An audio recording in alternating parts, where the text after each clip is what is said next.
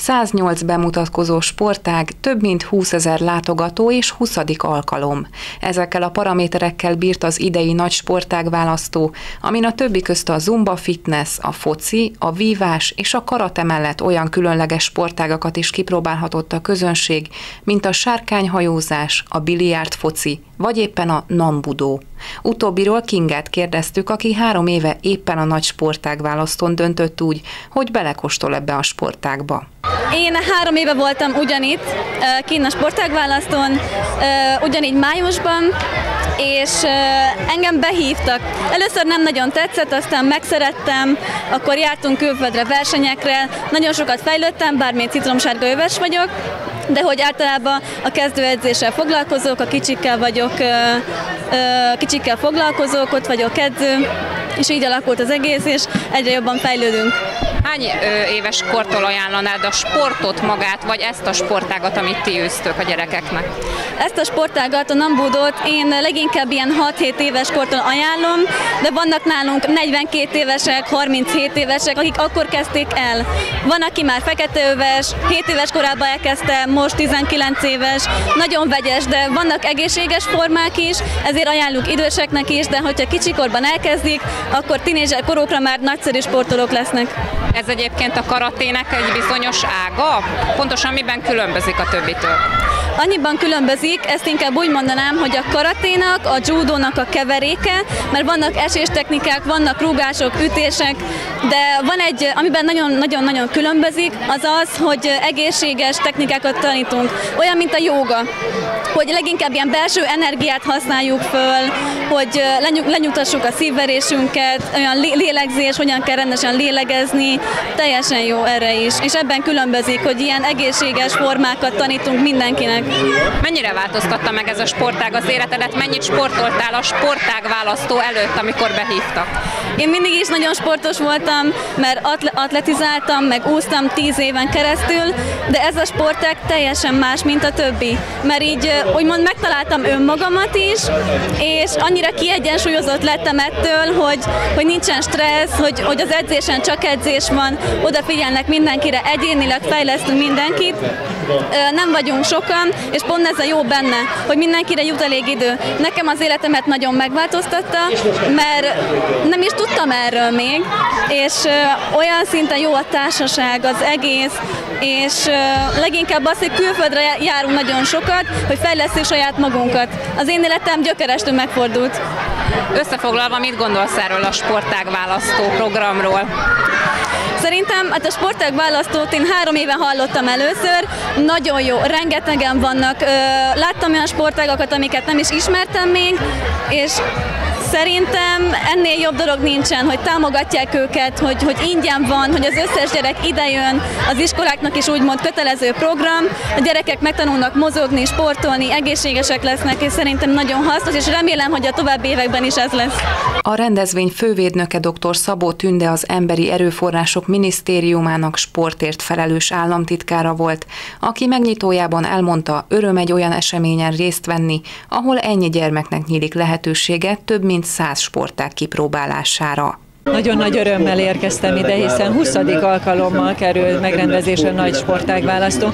Lehet látni, itt voltam tavaly és azt megelőzően is, hogy minél több esemény ide érkezik, minél több sportág, annál több gyerek is jön, hiszen lehetőséget kapnak a gyerekek arra, hogy kipróbálhassák a sportágakat, és amelyikben a legjobbak, legjobban tetszik nekik, szakemberek iránymutatásával el tudják azt érni, szüleik segítségével, hogy lemenjenek akár mindennapos testmozgásra, iskola utáni foglalkozásokra, vagy akár csak egyszer-kétszer, hogy mozogjanak, és mert érdekli a sportág. Úgyhogy azt lehet mondani, hogy ugye nekünk a célunk az, hogy minden gyermek sportoljon, ez is hozzá tartozik, és éppen ezért kimagaslóan, kiemelten támogattuk az eseményt, hogy minden lehetőséget megkapjanak a gyerekek, hogy minél jobb kezekben, minden, minél több feltétellel tudjuk biztosítani azt, azt, hogy egy mozgásgazdag életmódot belecsempészük az életükbe.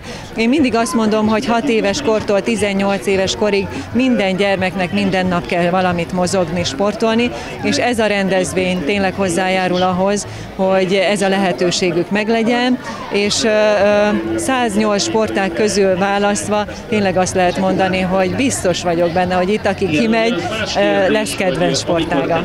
A rendezvényen jelen volt Radványi Gábor kőbánya sportért felelős alpolgármestere is, aki a kerületet a sport fellegvárának titulálta, és azt is elmondta, hogy mi az oka annak, hogy a kerületben ennyi tehetséges sportoló van. Kőbánya sportja nagyon színes, nagyon színes, hiszen nem csak a jelenben, hanem a múltban is. Hogyha egy múltba egy kicsit visszamegyünk,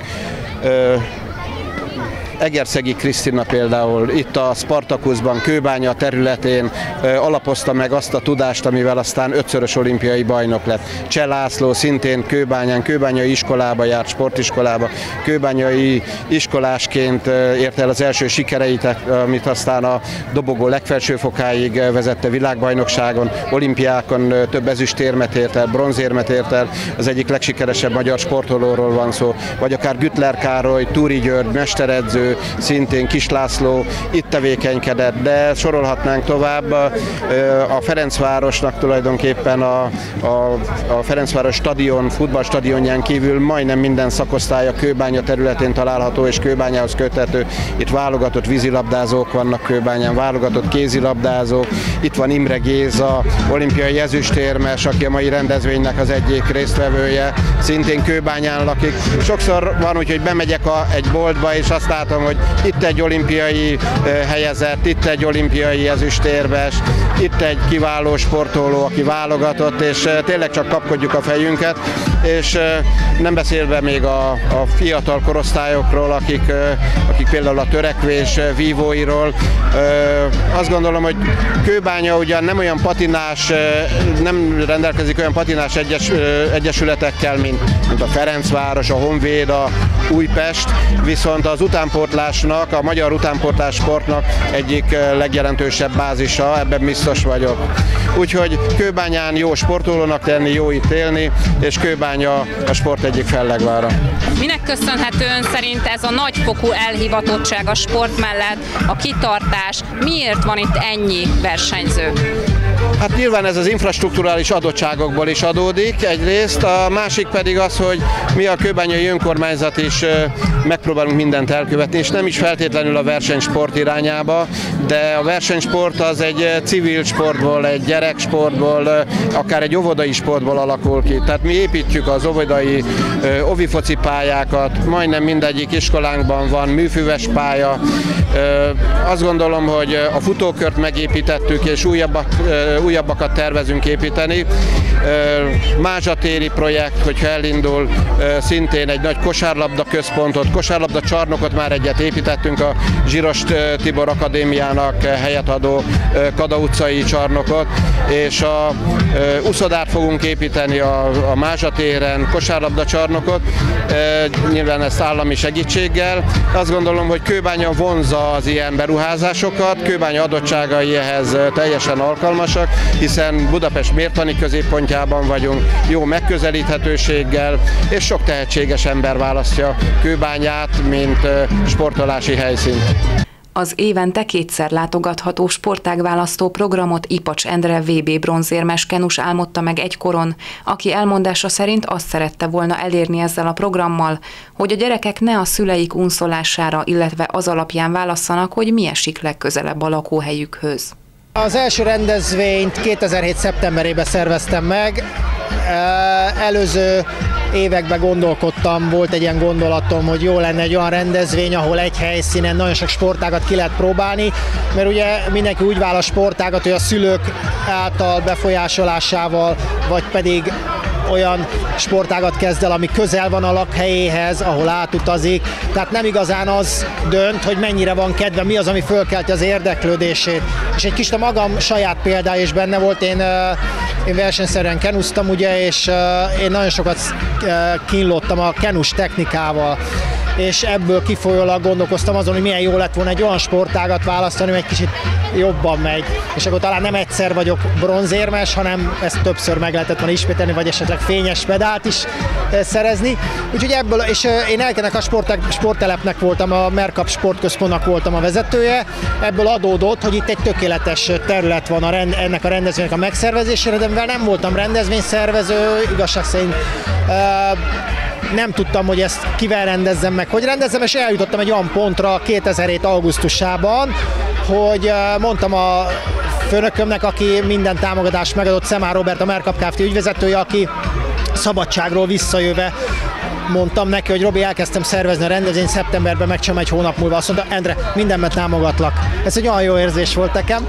És meg is csináltuk, 19 sportág jött el, ugye volt sportba elég jó kapcsolataim, azért egy hónap alatt ezt megszervezni, azért én nagyon örültünk neki, csodálkoztam is, és 300-an jöttek el, én ezen csodálkoztam is, és az mind a 300 látogató nagyon jól érezte magát, olyan visszajelzéseket kaptunk, és a következő gondolat a Robival összeültünk az volt, hogy ne várjunk szeptemberig, én már meg akartam csinálni májusban, hogy ott meg a nyári táborokba tudnak tagozódni a gyerekek, ne kallódjanak, értelmesen töltsék el a szabadidejüket és megcsináltuk szeptemberben. A Robi mondta, hogy csináljuk péntek szombatra, ne csak szombatra, mert akkor az iskolákat jobban be tudjuk vonni. Én ebben egy kicsit skeptikus voltam, de bejött a Robi ötlete, mert az iskolák vették a fáradtságot, és, föláll, és fölhasználták azt a pár szabad napjukból ezt az egy napot arra, hogy ide látogassanak ki, és ez óriási öröm volt.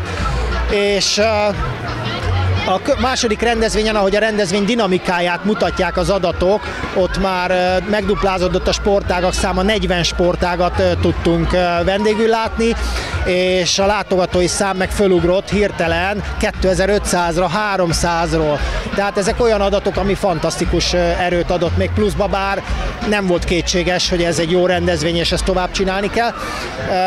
És a harmadik rendezvényen, ahol egyévesek voltunk, ott már 60 sportág volt, tehát ugyanígy még hozzájött egy, tehát megduplá, harmaddal több lett, és és a látogatói szám meg 4500-ra ugrott föl. És ez így ment föl, és a következő rendezvényen egy nagyot ugrottunk, ott már 16 ezer látogató volt, és, és elértük ezt a 80 körüli sportági számot, és utána elértük ezt a 100 sportági számot. Most is így van ez a rendezvényen, hogy olyan kb. 100, most néztem 108 sportág van jelen. Én ugye 2012. szeptemberében csináltam meg az utolsót, gyakorlatilag ugyanígy megy tovább a rendezvény, és ez nekem nagy öröm, hogy, hogy jó utat építettünk ki a Robival. Az nagyon fontos, hogy ez egy információs bázis, tehát a szülőknek, a gyerekeknek, a tanároknak itt biztos, hogy olyan ö, kapcsolódások jönnek létre, amik a magyar sport érdekét szolgálják. Kellnerné Géci Ágnes évek óta látogatja a rendezvény diákjaival. Szerinte nagyszerű alkalom ez a gyerekeknek arra, hogy megismerkedjenek számukra ismeretlen sportágakkal. A testnevelő tanár arról is beszélt, hogy ezen az alkalmon vajon hányan tudnak sportágat választani maguknak. Ezzel az iskolával gyakorlatilag évek óta részt veszünk ezen a rendezvényen, több osztályjal szoktunk jönni, most jelenleg 25-en vagyunk, de volt, hogy 50-60 gyerekkel vettünk részt a rendezvényen.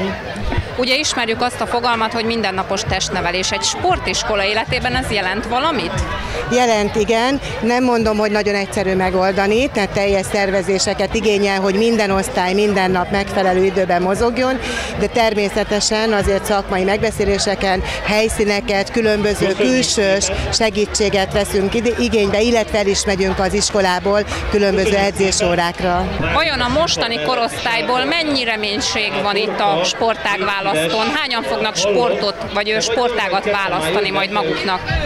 Ha az én osztályomból indulok ki, ők sporttagozatos osztályok, akkor azt kell, hogy mondjam, hogy alsó hangon 90%-os biztos, tehát ők már most nagyon szeretnek, és évek óta sportolnak. Ha pedig így általánosságban gondolom, akkor is azt mondom, hogy nagyon-nagyon hozom az ilyen rendezvényeknek. Tehát az, hogy megismerik a gyerekek a különleges sportokat, nem a szokványos általános sportokat, küzdősport, csapatsport, vízisportok, tehát én azt gondolom, hogy évente többször is elbírná a, a gyerekek lelke és a teste az ilyen jellegű rendezvényeket. A következő, azaz a 21. nagy sportág választóra még idén, szeptember 15-én és 16-án kerül majd sor.